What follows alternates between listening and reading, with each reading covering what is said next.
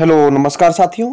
मैं हरबीर सिंह स्वागत करता हूँ आप सभी का आपके अपने स्टडी चैनल, स्टडी 24 ऑफिशियल में।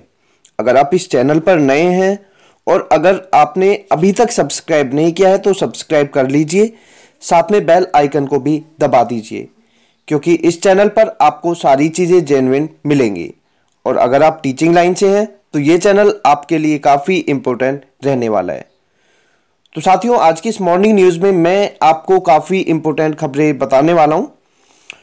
तो साथियों, जैसा कि आपने थंबनेल में देख लिया होगा, कुछ फर्जी प्रमाण पत्र बनवाकर नौकरी ली गई है। उसके बारे में हम बात करेंगे।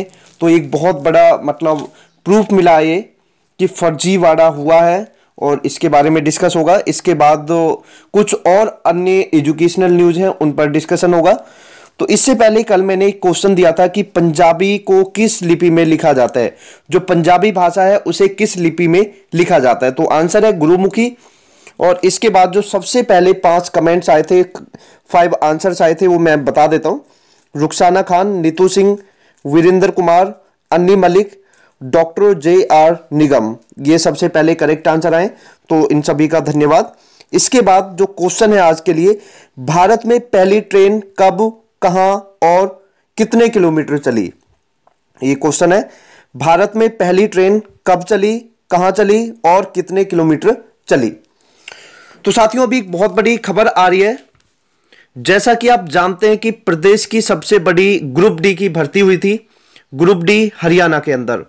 तो साथियों, इसमें बहुत बड़ी खबर आ रही है कि फर्जी प्रमाण पत्र बनवाकर नौकरी ली गई है। जी हाँ साथियों, दिव्यांग कोटे में मतलब पाँच जो नव चयनित कर्मी है, उनका दोबारा से मेडिकल होगा, क्योंकि काफ़ी ऐसे कर्मी पाए गए हैं जो मतलब दिव्यांग नहीं है, लेकिन फिर भी दिव्यांग प्रमाण पत्र बनवाकर, फर्जी प्रमाण पत्र बनवाकर नौकरी ली है।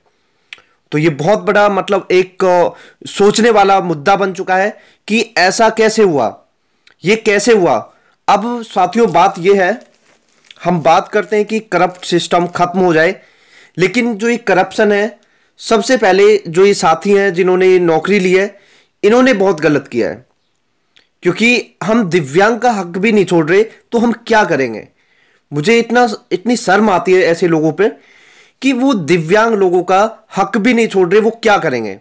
मतलब दिव्यांग कोटे में वो जा रहे हैं, फर्जी प्रमाण पत्र बनवाकर वो नौकरी पा रहे हैं, और सबसे बड़ी बात यह है कि जो अधिकारी हैं, जो उनको पास कर रहे हैं, जो प्रमाण पत्र बना रहे हैं, वो लोग कैसे हैं? तो साथियों, ये सोचने वाली बात है और इन लोगों पे मैं कहना चाहता हूँ, कड़ी से कड़ी कार्रवाई होनी चाहिए। और इसमें साफ़ तौर पे लिखा गया उनको नौकरी तो नौकरी से तो हटा दिया जाएगा, उन पर कानूनी कार्रवाई भी की जाएगी। जी हाँ, बिल्कुल होनी चाहिए। क्योंकि ये सोचने वाली बात है कि जो दिव्यांग है, उनके कोटे को भी हम खा रहे हैं तो हम क्या करेंगे? और बहुत गलत है, और जो इनके साथ मिले हुए हैं, जिन्होंने प्रमाण पत्र बनवाने में सहायता की है, जिन्होंने पास किया है, दिव्यांग ना होते हुए भी उनको दिव्यांग बनाया गया है तो वो, उनके ऊपर भी कानूनी कार्रवाई ज़रूर होनी चाहिए।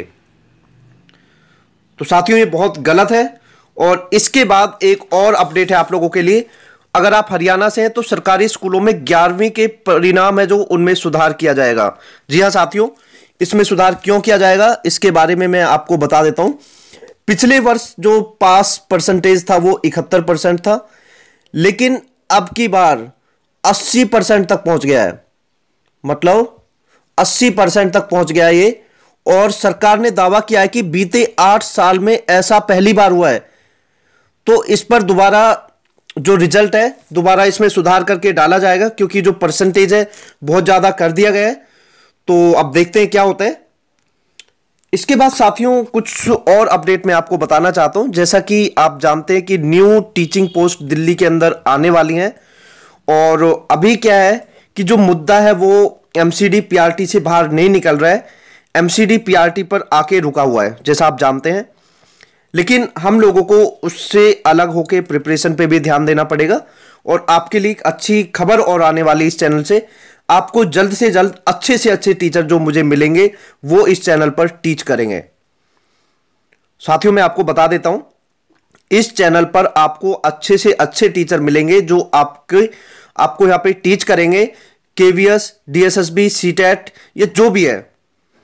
तो मैं अच्छे मेन मेन जो भी जैसे इंग्लिश का टीचर हो गया या साइकोलॉजी का टीचर हो गया मैथ का टीचर हो गया तो टीचर से मेरी बात हो रही है तो जल्द से जल्द आपको इस चैनल पर स्टडी देखने को मिलेगी। और ऐसे नहीं, हर सब्जेक्ट का अपना एक अलग टीचर होगा। तो साथियों, आप जुड़े रहे हमारे साथ, और जो न्यू रिक्रूटमेंट है, जल्द से जल्द हम कोशिश करेंगे कि जल्द से जल्द वो वैकेंसीज आए, और अभी देखते हैं कि कोर्ट के अधीन वो चीज़ चल रही है। कोर्ट कितना टाइम लगाता है। जैसे आप जानते हैं एमसीडी पीआरटी पे उलझी हुई है। जो डीएसएसबी है एमसीडी पीआरटी पे उलझा हुआ है इस टाइम और इसके बाद जो मुद्दा बना हुआ है एमसीडी पीआरटी बना हुआ है। हालाँकि आप देख रहे हैं कि वो उलझता जा रहा मामला। हम ये चाहते हैं कि जल्द से जल्द वो सॉल्यूशन हो जाए। जो सिलेक्टेड है, उनको जॉब दी जाए। जो डिजर्विंग है नॉन सिलेक्टेड में, उनको भी कुछ बेनिफिट दिया जाए। जल्द से जल्द ये मामला सुलझाया जाए। जो मेरा विचार है क्योंकि इससे न्यू वैकेंसीज पे बहुत प्रभाव पड़ रहा है। तो साथियों goodbye take care thank you जय हिंद, वंदे मातरम एंड लाइक ज़रूर करें। Thank you